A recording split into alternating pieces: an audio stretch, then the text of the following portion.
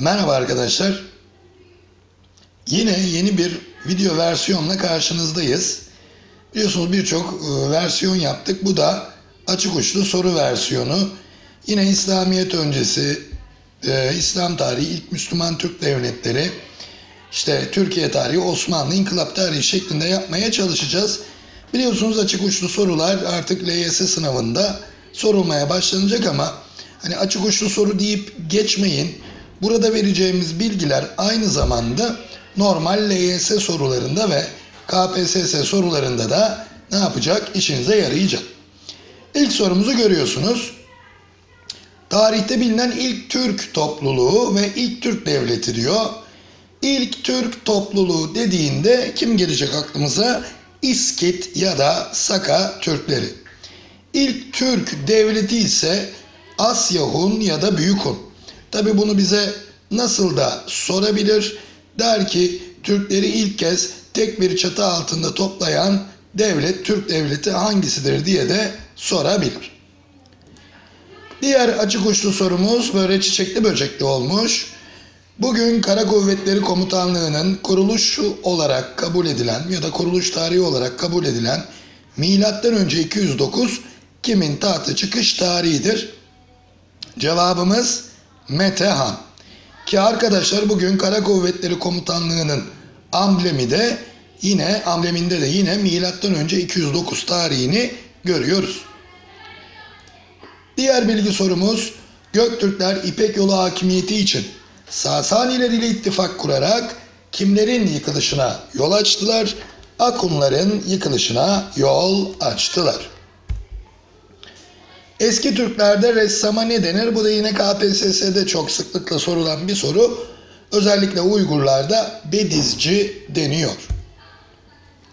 Kavimler göçü sonucunda ortaya çıkan Avrupa'daki düşünce sistemi kalıplaşmış, durağan, değişmez. Hatta ne diyoruz? Dogmatik diyoruz. Neydi bu? Skolastik düşünce.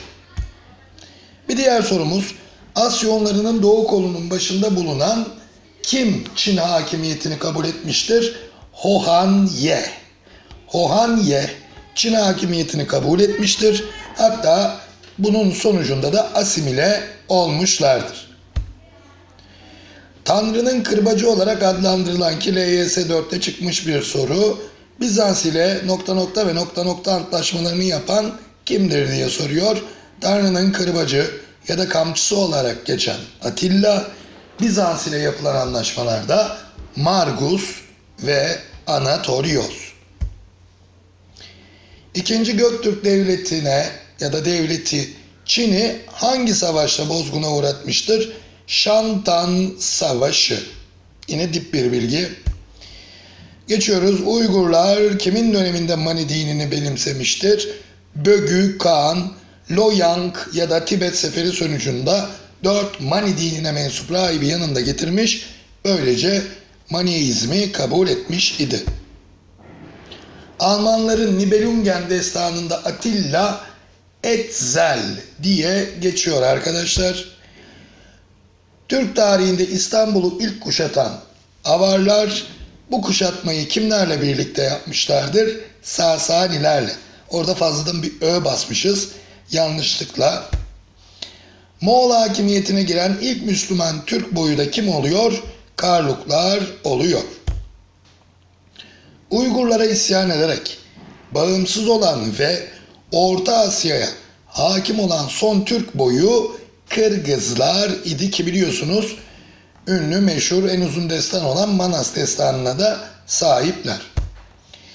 Egemen oldukları Orta Avrupa ve Kafkaslara bağır, e, barış çağını yaşatan İslamiyet öncesi Türk devleti de kimdi? Hazarlar. Hatta ne denir? Pan Hazarya ya da Hazar Barış Çağı. Lavignon Savaşı'nda Kumanlara yenilen, öncesindeki Malazgirt Savaşı'nda Selçuklu tarafına geçen Türk boyu da kimlerdi? Peçenekler. Bu Lavignon Savaşı da yine az bilinen bir özellik. Bizans ordusunda paralı askerlik yapan Türkler birini az önce söyledik. Peçenekler, diğeri de Uzlar yani Oğuzlar. Museviliği benimseyen tek Türk devleti yönetici sınıfının benimsediği kim? Hazarlar. Hatta Hazarlarda ne vardı? Hazar Barış Çağı vardı az önce söyledik. Aynı zamanda Hazarlar yine unutulmaması gereken dini hoşgörüye sahip bir devlet idi. Sorularda mecazen şöyle diyebilir. Caminin yanında kilise, kilisenin yanında havra bulunurdu. Bu neyi gösterir? Dinsel hoşgörü. En kalabalık Türk boyu 24 boydan oluşan tabii ki Oğuzlar. Hunlar gibi Anadolu'ya ilk akınları gerçekleştirenler kimdir? Hani bir bölgeye de adını veriyorlar. Sibir, Sabir ya da Sabarlar. İslamiyet'i kabul eden Avrupa'da ilk Müslüman Türk devleti İtil Bulgarları. Bununla birlikte Çar ünvanını kullanan Türkler dediğimizde arkadaşlar Bulgarlar aklımıza gelsin. Devam ediyoruz. Dünyada ilk Türkoloji Enstitüsü Budapeşte'de yani Macaristan'da açılmıştır. Kendi adına para bastıran ilk Türk iş hükümdarı Baga Tarkan'dır. Bu aslında sorunun cevabı sorunun içinde olan bir açık uçlu soru. Codex Cumanicus adlı iki ciltlik sözlük Kumanlara aittir. İran'da çıkan Mazdik isyanının bastırılmasında Akunlar etkili olmuştur. Orta Asya'nın en eski kültür merkezi Anav, Türklere ait en eski kültür merkezi Afanesyevo, en gelişmiş kültür merkezi de Tagar idi. Bunlar da LYS, KPSS tipi sorularda sıklıkla gördüğümüz noktalar. Kaşgarlı Mahmud'a göre Türk'ün adı olgunluk olarak geçer. Tabi Türk'ün türemek, üremek, çoğalmak, güçlü, kuvvetli şeklinde anlamları da var. Yine KPSS'de çıkmış bir soru. Afrasyap'ın Afrasyap kimin adıdır? Diğer adıdır. Tabii ki Alp Er Tunga. Bozkır'ın kuyumcuları olarak adlandırılan Türk topluluğu İskitler ya da Sakalar. Hani Amazon kadın savaşçıların da İskitlerde olduğu söylenir. Onu da dile getirmiş olalım. Asya Hunlarının bilinen ilk hükümdarı Teoman, onluk sistemi kuran ki az önceki sorularımızda vardı.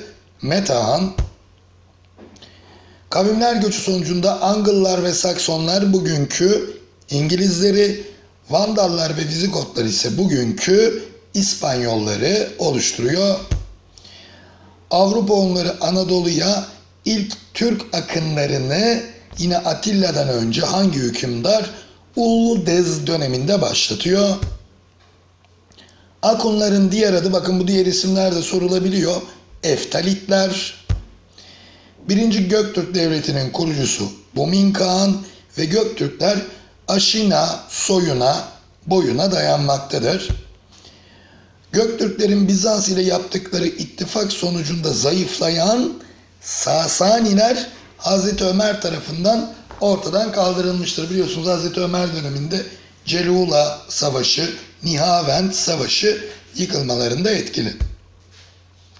Birinci Göktürk Devleti'nin en parlak dönemi yine sorulmuş soru Mukan Kaan İkinci Göktürkler Bolçu savaşıyla Bolçu savaşıyla Türk işleri yenmişlerdir. Uygurların en parlak dönemi Moyençor Kağan. Türkiye'de Orhun abideleri ile ilgili ilk çalışmayı yapan Necip Asım. Yine bakın aynı soruyu biraz daha değiştirip vermişiz. Uygurlar Bögü Kağan zamanında hangi dindi? Mani dinini benimsediler. Türk tarihinde yerleşik kültüre ilk geçen Uygurlar. Devam ediyoruz. Türk tarihinde ilk kütüphane kuran, ilk kez örgün öğretim uygulayan Türk devleti yine Uygurlar. Biliyorsunuz Uygurlar ilk yerleşik, ilk şehirleşme, ilk mimari hep onlarda gelişmişti. Orta oyunun kurucusular aynı zamanda. Bunları da belirtelim. Kırgız adı Kaşgarlı Mahmud'un Divan-ı Lugati Türk adlı eserinde ve Orhun abidelerinde geçer. Osmanlı Oğuzların Bozok kolunun Günhan soyundan gelmektedir. Selçuklu Oğuzların Üçok kolunun Denizhan soyundan gelmektedir. Hazarlar ile Araplar arasında Belencer Savaşı gerçekleşmiştir.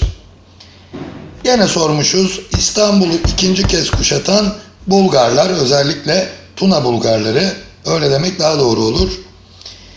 İbni Fadlan seyahat, seyahatnamesinde İslamiyet'i kabul eden İtil Bulgarları ile ilgili önemli bilgiler verir. İtil Bulgarları, Bulgarlarından da İslamiyet'i kabul eden almış han. Hem de ne diyorduk ona? İslamiyet'i almış han. Bizans kaynaklarında Batı Türkiye olarak adlandırılan Türkler Macarlar, Peçenekler Bizans ile Meriç Savaşı'nda ağır bir yenilgi alıyorlar 1090'lı yıllarda. Eski Türklerde doktora, otacı ya da emçi, hazinedara, ağılı, halka, kün deniyor. Eski Türklerde vergi memuruna tudun, ordu komutanı biliyorsunuz Tarkan e, ve katibe bitikçi deniyor. Bir de yazman vardı yazı işleri o da biliyorsunuz tamgacı. Eski Türklerde babaya kank, anneye ög ki öksüz oradan geliyor. Başlık parasına da kalın deniyor. Eski Türklerde bakın bu hiyerarşi çok sorulur. Aileye oguş, soya uruk, soy birliğine boy, millete budun, budunun başına hükümdar geçerse ne diyorduk? İl denilen devlet. Bilinen ilk Türk şairi Aprinçurtigin. Bir daha söyleyelim. Aprinçurtigin. Eski Türklerde yine çok klasik atasözü sav, ağıt, sagu, Bozkurt ve Ergenekon destanları Göktürklere ait, işte Türeyiş, Göç, Uygurlara ait. Prens Kaylanamkara, Papamkara yine Uygurların tanınmış öykülerinden.